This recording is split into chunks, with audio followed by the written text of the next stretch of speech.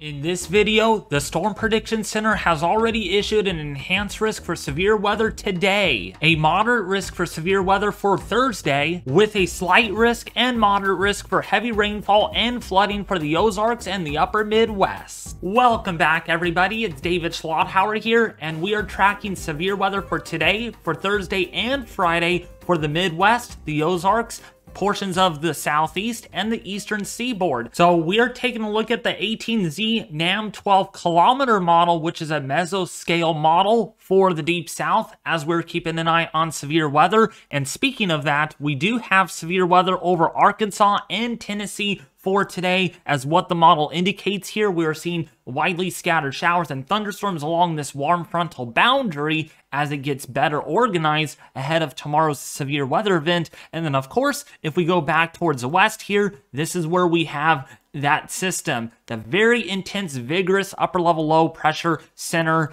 as it really ejects into the high plains tomorrow. So fast forwarding the clock into Thursday morning, there is your stalled out boundary over portions of the southeast. And then going forward into Thursday afternoon, right around say 5 and 6 o'clock, 7 o'clock Central Standard Time, this is when the severest weather is going to really blow up, especially over northeastern Texas and southwestern Arkansas. In fact, we have a 991 millibar surface low over the DFW area.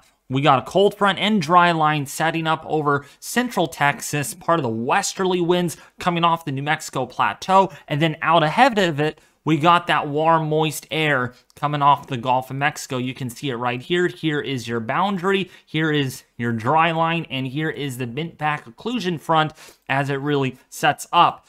So going forward into Friday morning, actually more like Thursday night into early Friday morning, that surface low really deepens pretty quickly over eastern Oklahoma and northwestern Arkansas. 983 millibars. To the south, we got that squall line setting up, and that could be the culprit for tornadoes. Strong tornadoes, QLCS tornadoes perhaps, damaging winds, 65 to 75 plus mile an hour winds. And then, of course, there's your warm sector, and here is your warm front that I'm going to draw up here in red so you all can see that. And then here is your cold front setting up. Actually, that's your dry line, so to speak, kind of mixing eastward here. And then here is your cold front kind of back in here, and that's going to swing through. So we got a triple point that is going to set up right here over portions of northeastern uh, Oklahoma, as well as northwestern Arkansas. This is a very dynamic system, and I'll show you why in just a second. But going forward, here's a look at that system really going to explode. Look at this 978 millibars over St. Louis, Missouri. Moderate to heavy snowfall, blizzard conditions, certainly a possibility. And then, of course, over central Michigan, southern Michigan, there could be some sleet and freezing rain for the millionth time again. You've had a lot this year. You're going to get more as that system moves into your region. Okay, and that's for Friday afternoon into Friday evening. That system really going to be pretty intense. 986 millibars over Michigan and then eventually over across portions there of the Northeast by early Saturday morning. Quite a bit of active weather expected once that system goes through, with another system possibly approaching California. So now, the question is, why is this system going to be so dynamic and really strong? Well, you can blame it on the 500 millibar uh, jet stream pattern. You can see here, this is um, positively tilted. You can clearly see that with the flow kind of coming in out of the north on the western side, rounding the base, and then kind of coming in out of the south like this.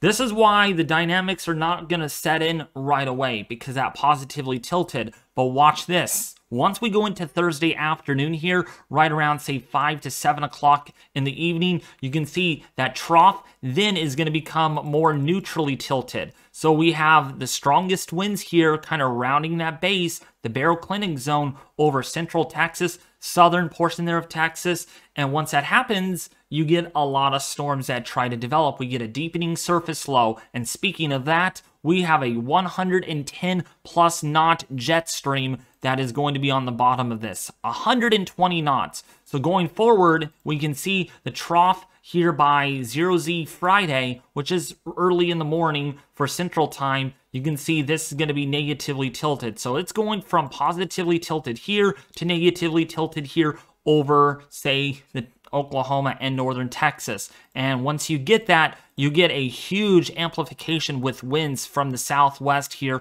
rounding the base between about 100 to 115 knots. And that's going to be the source of the severe weather on Thursday and even to Friday as that lifts towards the northeast into the Great Lakes. Now, as far as bulk layer shear goes, bulk shear is going to be quite strong here, anywhere between 60 to 75 knots. There may be a few areas here, especially in eastern Texas, where bulk shear might approach 90 knots. So we're looking at extreme amounts of bulk shear or effective bulk shear between the surface and 18,000 feet above the surface. So kind of in the deep layer here, we're looking at quite a bit of southwesterly shear kind of overspreading the warm sector. And that's going to really lead to a lot of um, directional shear, speed shear. We have instability, but also we have a lot of moisture. And this is going to really favor supercells, especially over in this area on the map. So kind of northeastern Texas, the uh, northern Louisiana and central and southwestern Arkansas is where we really got to watch closely. So um, um, the amount of moisture is going to be quite a bit. We're looking at dew points between 65 and 68 degrees um, in many areas, maybe close to 70 degrees in southern Louisiana. So we got a lot of moisture in place. On top of that, we have very steep mid-level lapse rates, anywhere between six and a half to seven and a half, possibly eight degrees Celsius. And so combining the factors, this is going to yield moderate instability over central and eastern Texas with CAPE numbers here, mixed layer CAPE or convective available potential energy anywhere between about 1,000 to 1,500 joules per kilogram. So we got a lot of instability out there, more than enough to be suitable for a big severe weather outbreak. And I'll show you the SPC here in just a second. So that continues, and the instability might be maximized here, possibly over southwestern um, Arkansas, where it might peak at almost 2,000 joules per kilogram. So, yeah, moderate to almost strong instability over this region for Thursday night into early Friday morning. If you're enjoying the video so far, please consider subscribing right now to get latest severe weather video updates, winter storm updates, hurricane updates, and live streams on the channel, along to go with hitting the like button if you did enjoy today's video. Let's get this video up and over 100 likes. Let's even go for 200 likes. So if you haven't done it that already, that would be awesome. So when we take a look at the day one Storm Prediction Center outlook, and then we will be talking about tomorrow because tomorrow is going to be very dangerous. There is a level three out of five on the severity weather index scale or an enhanced risk over Arkansas, northern Mississippi, as well as southwestern Tennessee, as well as northeastern Texas, and northern portion most of Louisiana under the slight risk for severe weather. Again, that's the orange area here, and this is not just an enhanced risk by itself. We also have a 10% significant for strong tornadoes today in across the Little Rock, Arkansas area, including for northern Mississippi, Personally, I don't think this will warrant a live stream just because how conditional this might end up being. But if it breaks out, we might go live today, but I'm not expecting to do much uh, for today since I'll be very busy once this video gets released. But this is driven by a 30% significant for large hail, so there may be 2 plus inch hailstones across the Arkansas area with 30% non-sig for strong winds, 65 plus miles an hour in the area shaded in red and yellow.